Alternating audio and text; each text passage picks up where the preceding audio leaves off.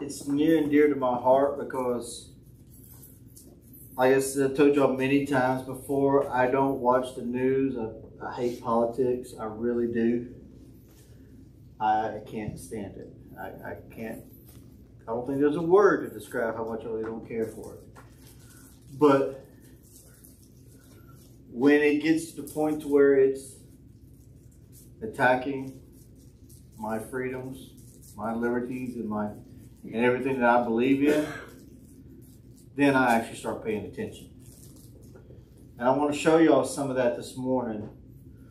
But, you know, why are there so many attacks against the Bible? I mean, the Bible's been around for 2,000 plus years, and there's still the same attacks against it. And today I'm going to answer that question. Why do so many people hate it? Why do they deny it? Why don't they believe it? But this morning, we're going to start with our text again uh, in the book of Psalms. We're going Old Testament today. And that's where we're going to find a lot of these answers. In the book of Psalms, chapter 119, we're going to start verse 142. In Psalms 119, verse 142. This whole chapter of 119 it's a lot of scriptures in there, but a lot of it answers a lot of questions that we're facing today. In verse 142, it says, Thy righteousness is an everlasting righteousness, and thy law is truth. Jumping down to verse 151, it says, Thou art near, O Lord, and all thy commandments are truth. And lastly, we look at verse 160. Again, it says, The word is true from the beginning, and every one of thy righteous judgments endureth forever. Let us pray. Our Heavenly Father, Lord, we come to you this morning right now, Lord, to help answer some of these questions that are facing us today, Lord. Lord, I pray right now that you'll just move me out of the way and you preach this message to your people, dear God, as you see fit. Father, this is your word and this is truth. So, Lord, just let every word that comes out of my mouth be from you, Father. In Jesus' name we pray. Amen. Amen. You may be seated. These attacks come in like three forms. All right? We're going to look at some of these attacks. When we look at military assaults, a lot of y'all have, have military families or y'all have watched a lot of movies about military and stuff like that. Uh, there are like three major assaults, three main ones. You have your frontal, your flanking, and your and what they call some call ambush or a rear attack. All right. So you know, with the help of my two little aides over back there, we're going to look at some of these back now. So we're going to look at the frontal assault. All right. So a frontal assault. All right, you two, come on. Demonstrate a frontal assault. So if I was the person that they're being uh, being attacked, okay, yeah, right. You're supposed to like run and scream. But you see, the frontal assault is from the front. Is they're going to attack me from the front? All right, y'all go to the sides. All right. So the frontal assault, you can sit down, little Jimmy. They they're good now. They're going to hide back there.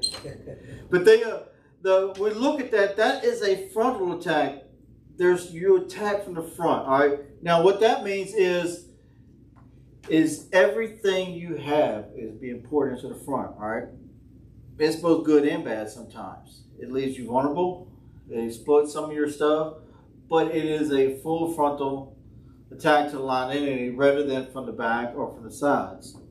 Now, when we look at that, that style attack is the bold attack. It's very bold in, it, in its saying, because a lot of these people that are very outspoken against the Bible, that are very boisterous about it, they're bold in what they believe. They do a frontal attack, all right? They straight up deny it. it is a direct attack against God's very nature, saying the Bible is a lie. Well, how many people have, have we heard to say the Bible is a lie? A lot of them really not going to say those words precisely, but they'll say, man wrote it. Okay? So if man wrote it, then how can man be trusted? Let me give you some, let me ask you a question. Who pulls the trigger on the gun? The gun or the man?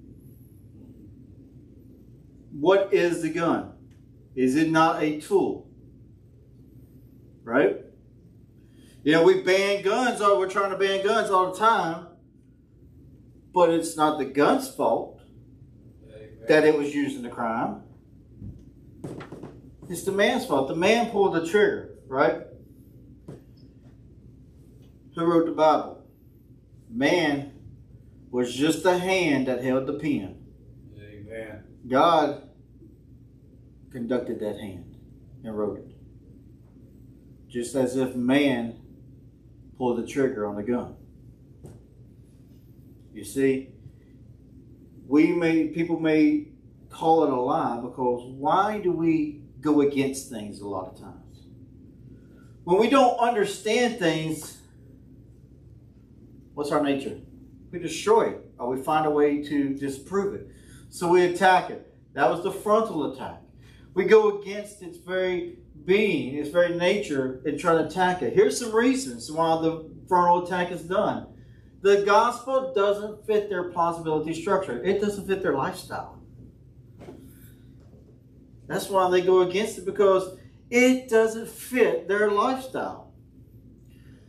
It says a lot of Christians haven't looked for a common ground. They believe that Christians are just out there to judge people and condemn people. And a lot of times that is true.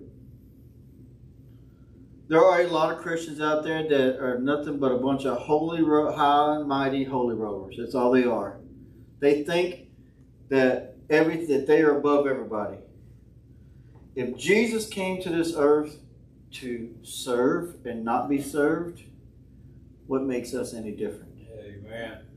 You see, that's where a lot of churches at times have been brought down. That's why a lot of people, that's why the church pews are empty today because so many people walk through those doors and they're scared because they're like, we're going to be judged.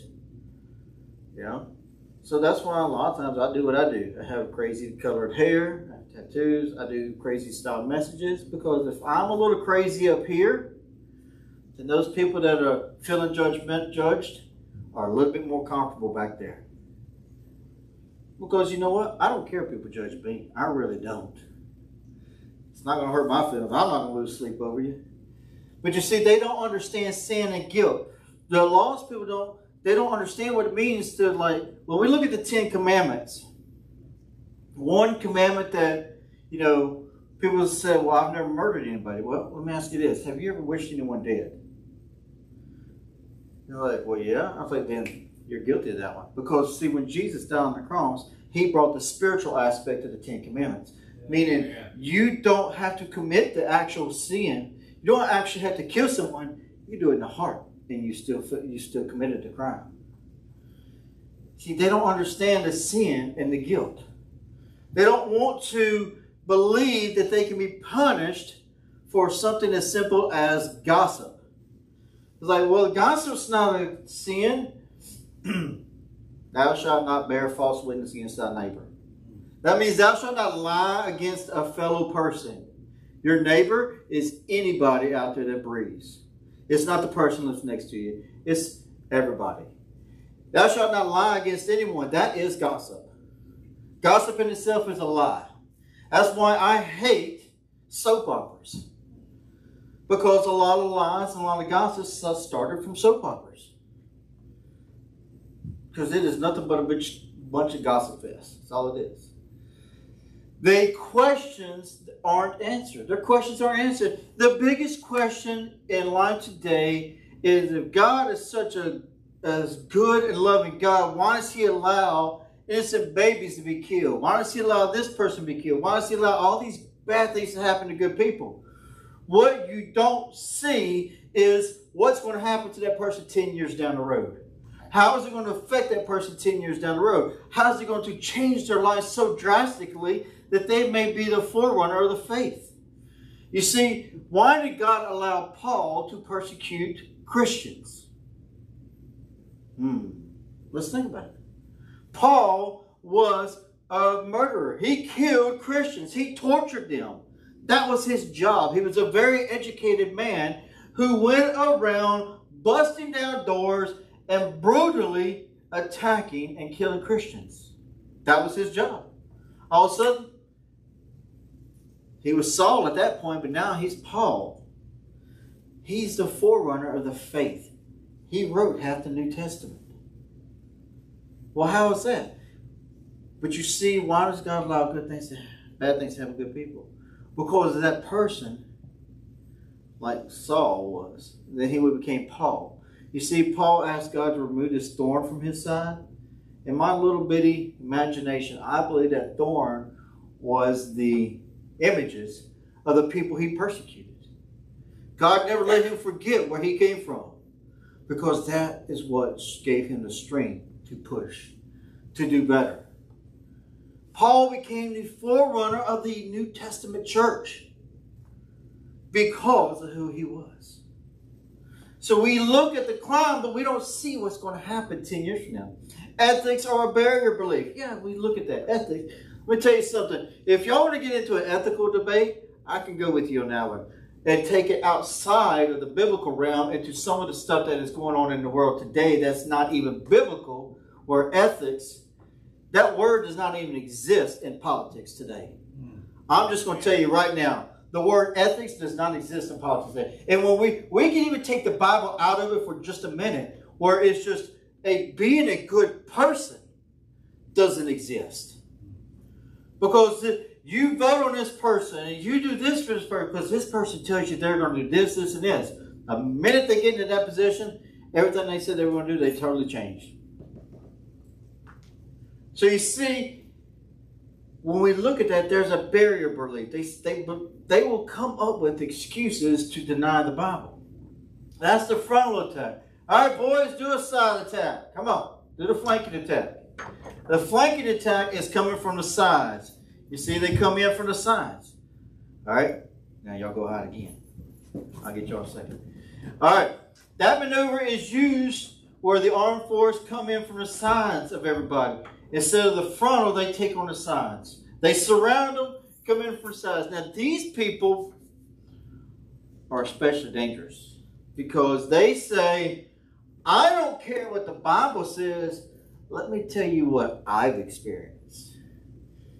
These were the so-called false prophets of the day. You know, Paul had to deal with a lot of these people in the, in the Corinth. And because they were people that would tell you, you know what? I like to be do this, this, and this. They're the false prophets. All right, let's look at today's time. Entertainers. Charismatic preachers. All right? But they believe more in money and numbers than they do the Bible. I will tell you this right here. I will take a church with 10 people that are sold out for God more, any day of the week than I would that's got 10,000 that believe in nothing but money. Because Jesus changed the world with 12. Amen. 12. 12 rejects from society. He changed the world with 12. Imagine what I could do with 10 that are 100% sold out for Christ. You know, if we were all sold out for Christ, and if we truly believed in the saying, Come as you are, these pews will be full every Sunday. Amen. Because that's the thing. No one, everybody's scared to come to church because they're scared of what they may be judged. You see, you see this stuff right here, these false prophets, the entertainers of the day. They were the ones that would, would tell everybody, you know what, I don't care what the Bible says. I don't care what it means. I'm going to tell you what I believe or what I've experienced or what I've been through. You know, let me tell you about me. Does that sound familiar? Let, us bring it back to some of them televangelists. Just send me your money. Send us your money. God has compelled us to tell you that if you would just give, if we would raise a million dollars, this, this, and this, what happened? Mm. You know, you think about it and look at history. The Crusades. How many people were killed in the name of God that were innocent? You know, we can even go into, I can bring it into the Salem witch trials. They believe that the witches have done ran the world and this and that. And if you go back in history and you look at all that, every one of them women about. Because man believed that if they couldn't explain it, it was of the devil. And it needed to be destroyed. Are we any different today than we were back then? No, we just got better at it. We've got better at hiding our intentions than we were back then. I mean, think about it, we have. We've gotten really good at hiding our way of destroying things. You know. Oh, I've served for 23 years in the military of my life. My greatest honor was that. I served it. I've seen the evil in man.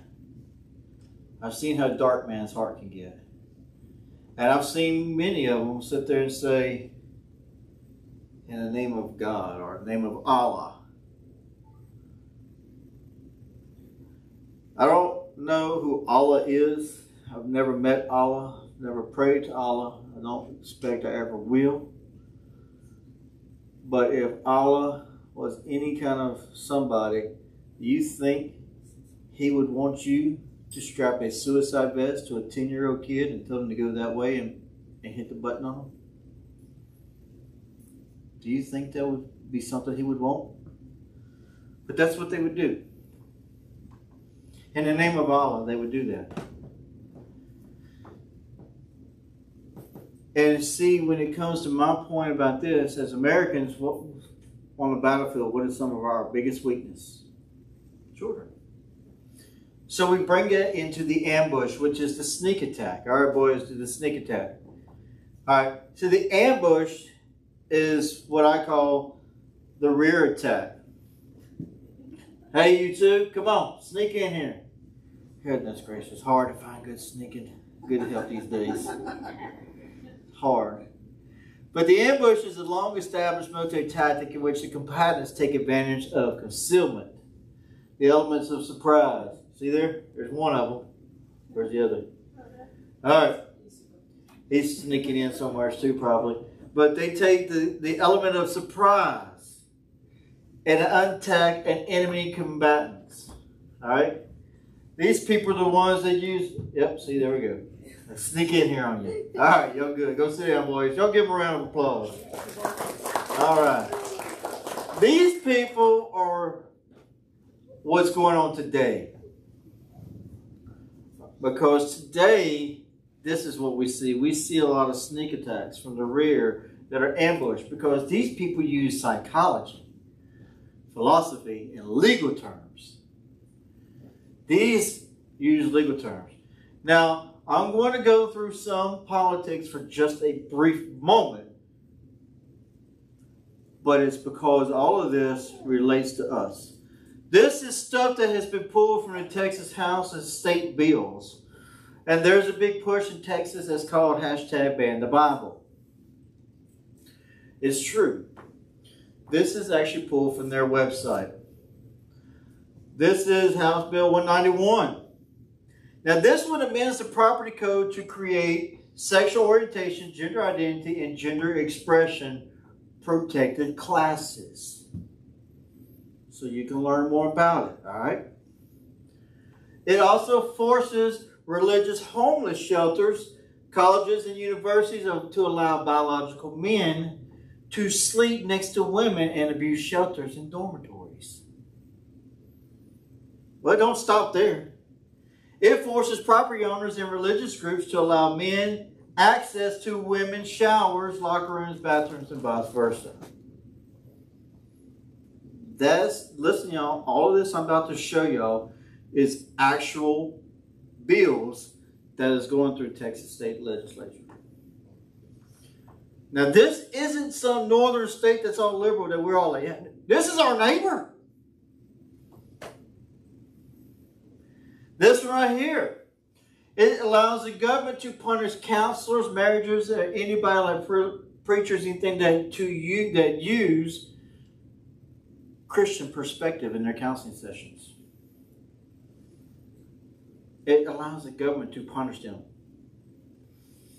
It would effectively ban people from using the Bible or referring to principles in the Bible during their counseling sessions. Now, I had a couple people a couple weeks ago that came to me. We sat in the kitchen for about two or three hours, and they just wanted me to talk with them about marriage. And I used the Bible. According to this law, if it gets passed, I could be put in jail for doing that. This one forces the government contractors to endorse beliefs contrary to their religious views in order to serve their communities.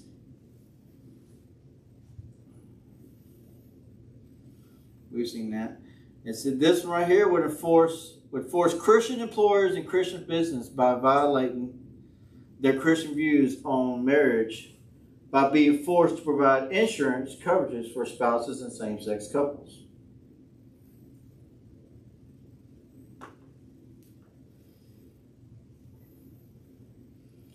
This one right here, this one right here really hits me hard.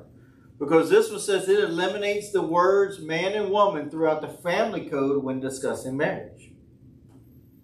You cannot say man and woman anymore. Even though the Bible says God created man, created woman. But you see now it eliminates the words husband and wife when discovered discussing the word marriage. It eliminates husband and wife. It also eliminates mother and father when discussing both parents in a male-female relationship. And then here's a, me and Donna were trying to figure this one out. It eliminates the word female when referring to someone who's pregnant. Because the rest of that sentence I took out because it was stupid. It says, meaning that a male can't get pregnant. I'm like, how many of y'all have seen a male get pregnant? I mean, let's seriously, how many of us have seen that happen? No You know, was it meant to? But they don't want it to be female because just in case a male can get pregnant. Hmm. I'll, hmm. see, we have gotten stupid. I'll put it out there, stupid. A person could be subject to criminal prosecution for resisting a sexual advance by someone who is discovered to be gay, lesbian, or transgender. If they advance or try to hit on you in a sexual manner and you reject them, you could be criminally prosecuted.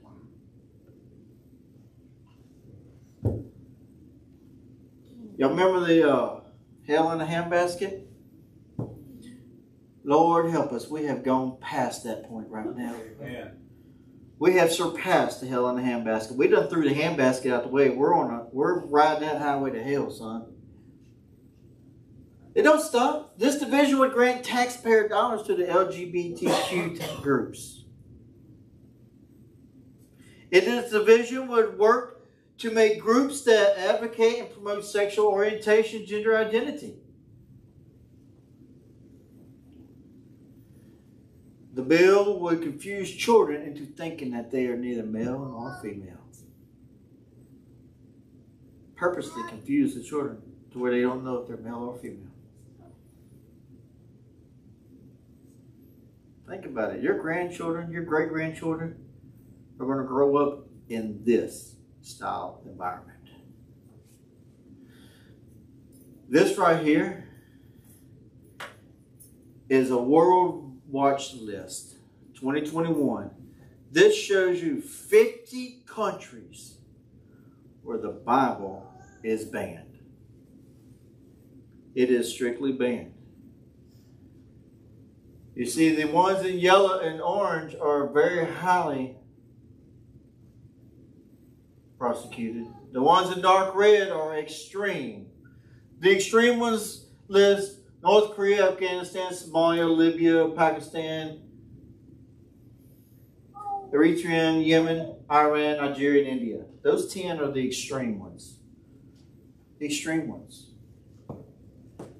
You see, he's like, it's not going to get to America. Y'all know Mexico? Guess what? Mexico, the Bible's banned. Does it not border us? How much longer till it reaches our shores? It's there, it's here. We're just not paying attention to it, we're not seeing it. But you see, here's the problem with a lot of this. You see these attacks, these assaults on the Bible, it's because men think they can live on our own without God's help. Men believe we can improve on something God created. We can make it better.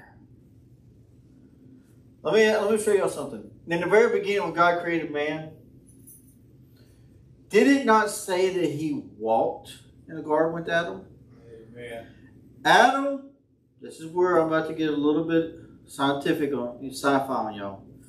Adam and Eve in their first creation were immortal beings. Amen. Before sin, they were an immortal being. We were not created to initially to die. Man was created to live immortally. God walked with Adam, meaning Adam looked upon the glory of God. Why? Because Adam was a perfect creation at that point. There was no blemish in him. He was perfect. There was no sin.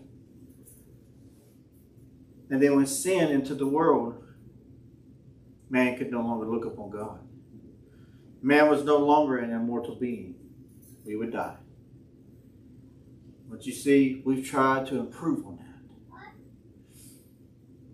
Most of the times when you see Bibles in houses, they're used as bookends to prop up other books, collect dust. They're not worn out, torn up, pages fall apart. But the main thing, the main reason why men deny it, and they create these outrageous bills in, in the politics, is because they don't want anything that shows them their lifestyle is wrong. Amen. It's wrong. We don't like to be said told we're wrong. We don't. None of us like to be said you're wrong. Listen, sometimes the, there was a part of me at one point, I would argue with someone, even though I knew I was wrong, I would still argue with them till they gave in. Because I didn't like to be told I was wrong. I'd sit there for like two or three hours arguing with somebody, knowing I'm wrong, but I'd still argue with them. And I would. Why? Because I didn't like to be told I was wrong. I didn't like that. But you see, I don't, you know, when we were living a life of sin, none of us want to hear the simple thing that says, for the wages of sin is death. None of us want to hear that adultery, that all this stuff is condemned. God condemns it. You know the little sign up the road there on the church says, "Don't condone what God condemns." Don't condone what God condemns.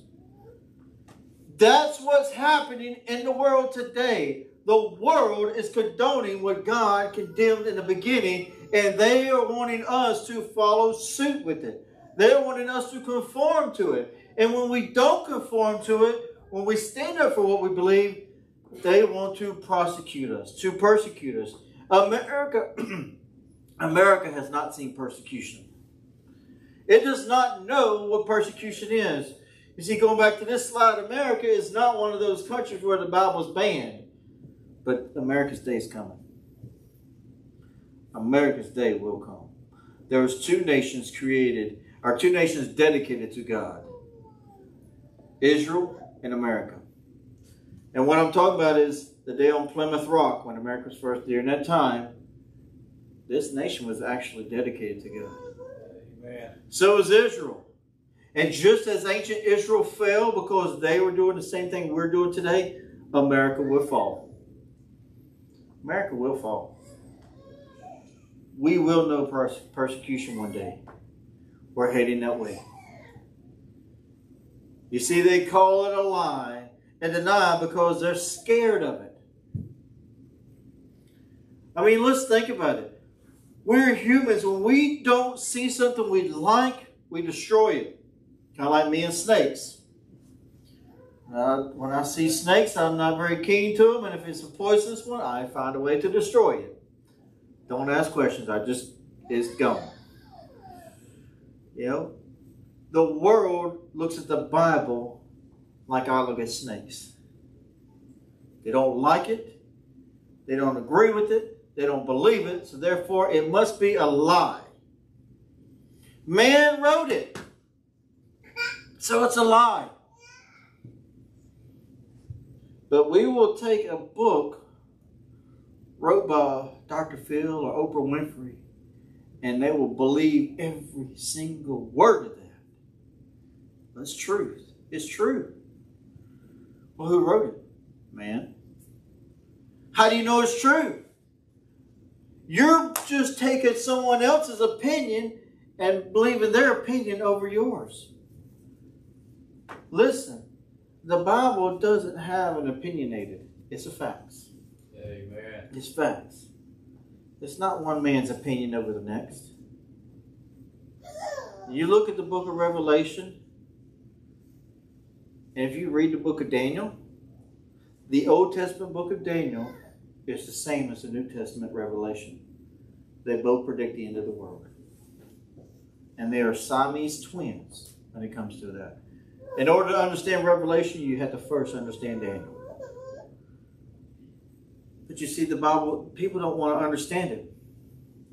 They don't know how to understand it. I mean, you look at like in verse 105 in Psalms, your word is a lamp to my feet, a light to my path. Let's just take that one right for example and dissect it. How would you understand that verse? How would you interpret that verse? Is it a literal lamp? Is, a, is it a literal lamp? No, it's not a flashlight. It's not a coal lamp. How is it a light unto my feet? But I'm telling you right now, in a time of darkness, when you're going through a period of darkness in your life, this book right here will give you the light in your life that you need to light your path and be a lamp to, to all those around you. Because you see, it's not about a literal light or a flashlight. It's about being a beacon of light. It's like a lighthouse. What is the purpose of a lighthouse? It's so everyone, every ship in the, in the bay can see the light in the dark. To warn them that there are rocks ahead, that there are shores ahead, that things are ahead, there are dangers ahead. Is the Bible not like the lighthouse? Does it not warn you of the dangers ahead? Yes, it does. But you see, they're lost without God and His Word. They will forever be lost. They will. They don't know what a compass is. They don't know how to read a compass. Because you see, here is the compass right here. Amen. This is the compass. And when you don't believe in this compass, you'll forever be looking for true north. You will forever be lost. And you will forever and ever be doomed to a hell of torment. Because people like to choose the easy path, the easy road, which is I'm just going to do it my way. Frank Sinatra sang that song, My Way. I did it my way. I did it my way. Let me tell you, the people in the world that did it their way, their and believed it my way was the best. One day, they're going to wish they would have did it God's way. Because this is why they deny the word of God. They don't want to be punished for their lifestyle. They don't want to believe that their life can be doomed. They don't want to believe that some that they can be punished for something that they did wrong. We just like our kids don't want to believe that they can get a spanking because they did something wrong. They don't like to be punished. Neither do we as adults. But you see, in Matthew 4 4, it says, It is written, Jesus was telling them, Man shall not live by bread alone, but by every word that proceeded out of the mouth of God. And it's true, man shouldn't. Man shouldn't live by bread alone. He should not. But you see, because one, the Bible is our substance. The Bible gives us what we need to survive. Chris, let me see. Yeah, he'll walk with me. Come here, buddy. Come here. Yeah, there we go. All right. We're going to have you come up here and preach with me. See? Now we're doing good. All right. See? So we look at man. Yeah. Here, you want to play this? He said, This is how I feel sometimes. I know, man. But uh, he said, Man should not breathe by bread alone, but out of the mouth of God. Think about it. See? I know. He said, Let me go. Let me go. Let me go back to mama. I tried. I tried. Sometimes it works. Hudson likes to get up here sometimes with me and preach. It works. But you see, think about it. That's how we feel. Just like that. Just like that baby crying. That's how we feel when we are punished. We want to scream and holler and cry and throw a temper tantrum because we didn't get our way. What do you think happens in politics today? What do they do? They scream, holler, and throw fits, but when they don't get their way, they put it in legal terms so everybody else has to obey it. Because they think they can do it better. They do. They think they can do it better. But it says in the Bible, Jesus said it, man shall not live by bread alone, but by every word that proceeded out of the mouth of God. We can't make it better. We cannot improve on this. We can't. There's actually, you read, read in the back of Revelation, there is a curse on those that try to add to or take away from this book. Amen. Those that have tried to take away from this book or add to it is a condemnation upon them. Because this is the Word of God. So why? What are you living on today? What bread are you living on today? Are you living on God's Word or man's Word? That's the question. What runs your life today? What type of attacks are happening in your life today? Are you allowing the attacks? Are you personally attacking the Bible because you don't believe every word of it? Or do you accept it as God's word for what it is? You see, we can't pick and choose what portions of the Bible to believe and not believe. We can't. Can't pick and choose it. You either believe it all or you don't believe it all. Amen. That's it. Plain and simple.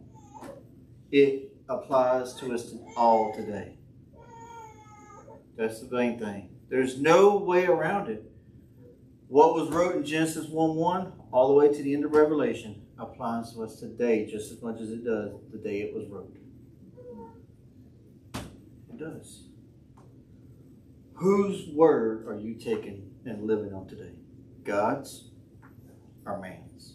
That's the question I'll leave you with. Until you can answer that, you won't know if your compass is pointing at true north. Amen. Let us stand.